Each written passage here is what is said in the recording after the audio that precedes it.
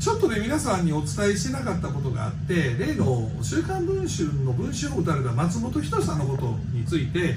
あの A 子さんと B 子さんがいて僕ね4月今から1ヶ月ちょっと前に A 子さんと B 子さんの名前とか顔を公開してるっていうか出してるんですがあれから A 子さんからも B 子さんからも苦情が来てません。私じゃないとか私ですとか僕ずっと無視してるんですよね。で意外に他の YouTuber たちもこれ扱ってなくてですねただ僕この A 子さんに関してはいろいろな噂を聞いていて噂って情報があって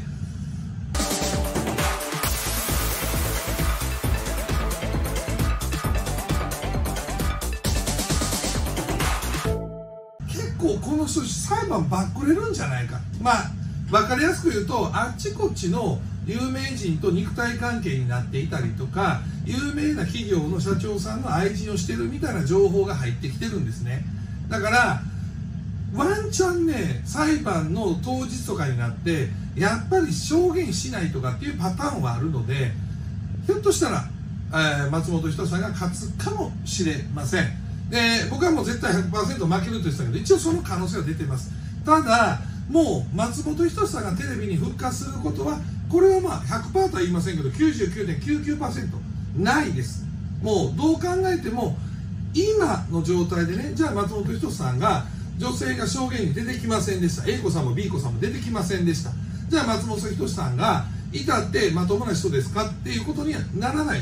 ですよね。だからもう早くねこれ本当もう久しぶりに言いますけどまっちゃん松本人志さん。あなた YouTube なりネットフリックスなりそっちに早く行って仕事したらどうですか？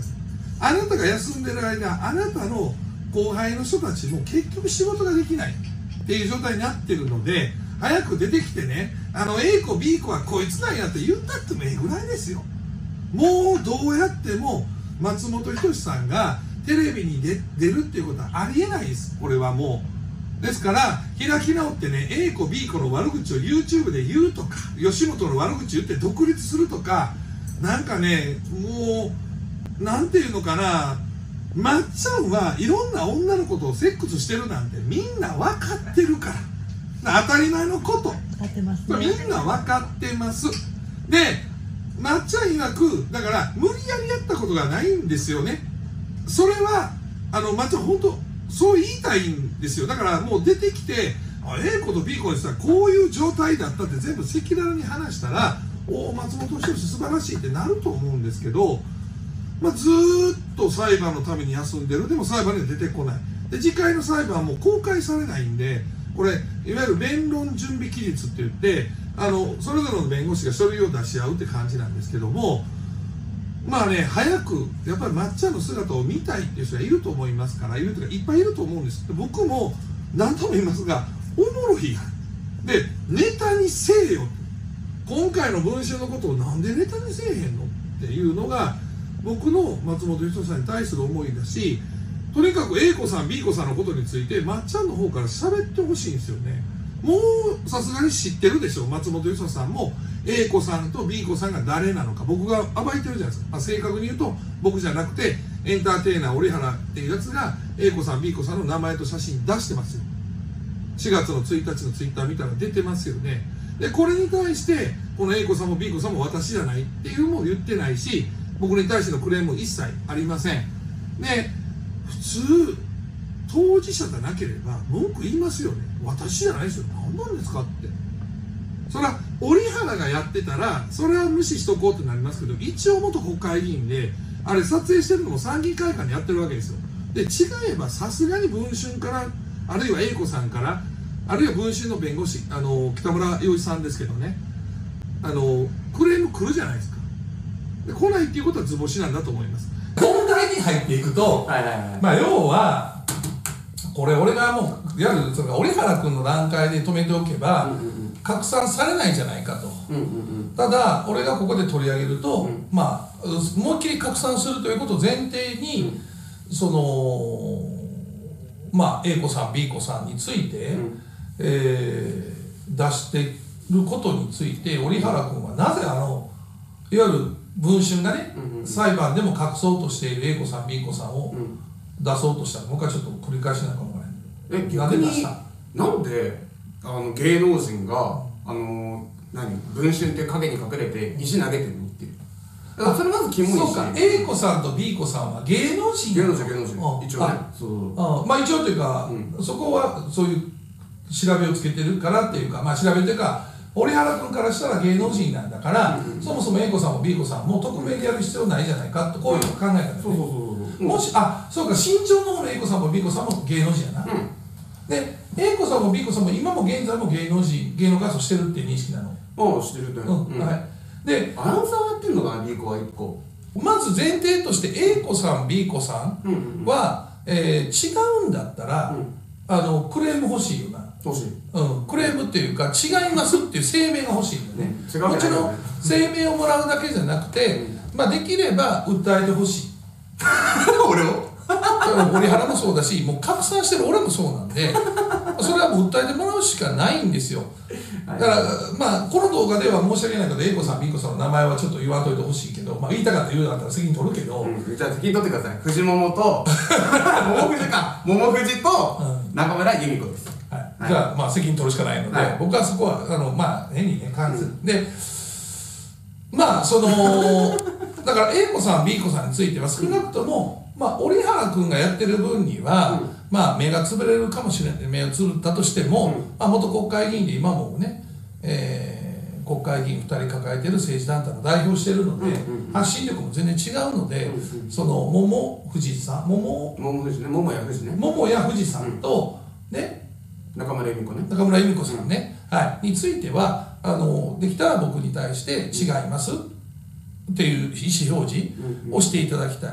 えーもちろん当人であればいわゆるこれ3つ選択肢があって「私は違います」って言ってくれるのかはい。うんうん「私です」って認めるのか、あーそれともこのまま無視を続けるのかって3択があるん。ですよね、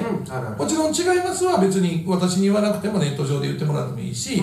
もちろん私ですって言うんだったらこっちに言わなくてもネット上で言ってもらってもいい、であのみ事務所の方それぞれ事務所に所属してるから、事務所の見解で出してもらってもいい。桃藤はねもう事務所所属してないんだよ。あそうそういうことだね、そうそうそうそう。はい。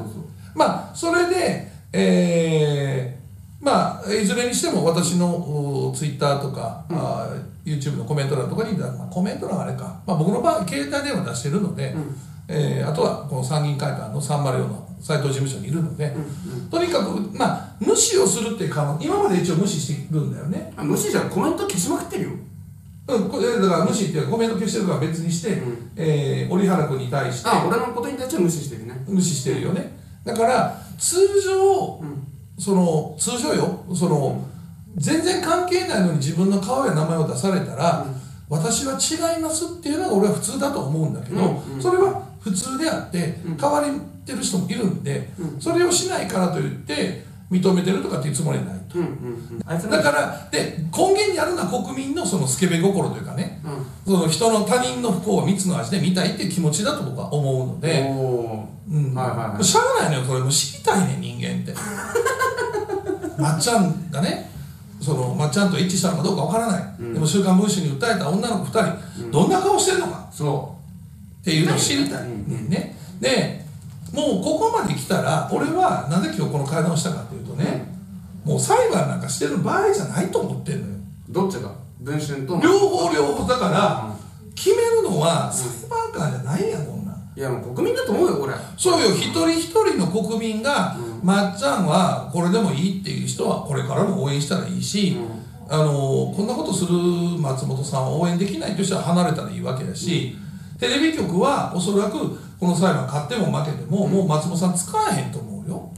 使わない？逆に？松本さんが勝ったとしてもこんなにイメージが悪くなったら使えないと思うよ。あそう。逆に俺お笑いにしてくれたら嬉しいなと思ってだからこれをお笑いにするとなるとネットフリックスが YouTube とかネットの世界はいけるけど、もうね松本さんが記者会見をせずにここまで放置したっていうことは、それはもう松本さんはテレビには出れないと。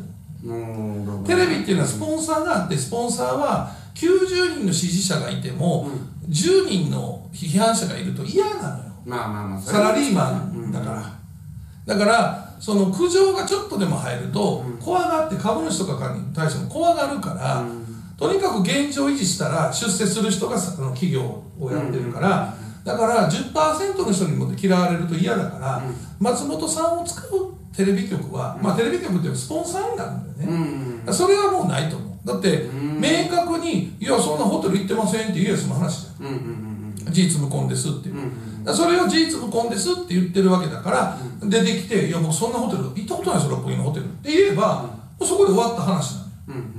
でもそれが言えないっていうことはやっぱりその六本木のホテル行ったんだってなる。多くの国民そう思うの。だけど逆にやっててなんか問題あるのあれ。いやそれで行ってエッチをしました。まあ本番があったかどうかは別にしてね、うんうん本番があったかどうかは別にしてエッチなことをしましたっ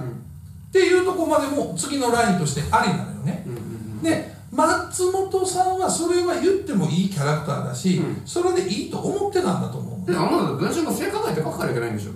いや性加害っていうかうん。性的な行為があったかどうかが確かに性的な声があったなかったは正直この際どうでもよくて。いやいやテレビはそうじゃないね、あそう、うん、だってあの結婚してるから。不特定多数の女性と不倫をしてるようなタレントは使えないが、うん。だって国会でもダメじまあまあまあまあ。ゃん、うん、その宮崎健介さんは不倫してるだけで国会議員辞めたから、不倫というもの自体がテレビは許されないわけよ。まあまあまあそれは確かにね、でね。その先の同意があったかなかったかっていうところに松本さんはこだわってるとは思うんだけど、うん。そうだ松本さんは同意があったかどうかじゃなくて、事実無根やと言ってるわけ。ようんうん。裁判上ではね。うん。うんだからエッチなことはしましたでも同意がありましたって争い方は今現在してない。まあしてないね確かに。でそんなことを言うと裁判がどんどん長引くので、うん。まあ、この際もう A 子さん B 子さんまあまあ俺は B 子さんまでは分からへんけど A 子さんがもう朝日新聞にまで出てるんだから、もう A 子さんここで思い切ってそのネットで喋るのがいいと思うのね。ん？朝日新聞に出てんの誰？桃 A 子さん A 子さん。おそうそうそう。桃藤出てないでしょ？表にいやいやああの A 子さん「週刊文春」の A 子さんっていうことで、うん。朝日新聞の取材には答えてる。ああそうなんだ、うん。はいはいはいはい。だからもうその今多くのファンは松本さんのファンはやっぱり A 子さんが嘘ついてるんじゃないかとかうんそういう考え方の人がいるので、もうそれだったらもうそのもう出てきて喋った方がこれケリーつくの早いんじゃないのと。うんそう思うんだ立花さん。つかもうさそもそも裁判で決めることちゃうやんっていうのが俺の考え。パチプロ政治家 YouTuber N 国代表俺が立花。口の利き方を気をつけな。俺は持ってるぶっ壊す力。未来永劫不老不死天上天下唯我独尊。売られた喧嘩は買いますせぶっ壊してみな弱小生徒。不倫路上カーセックス。これはアウトなデラックス。反射に過激な集金トラブル。先にセクハラないモラル。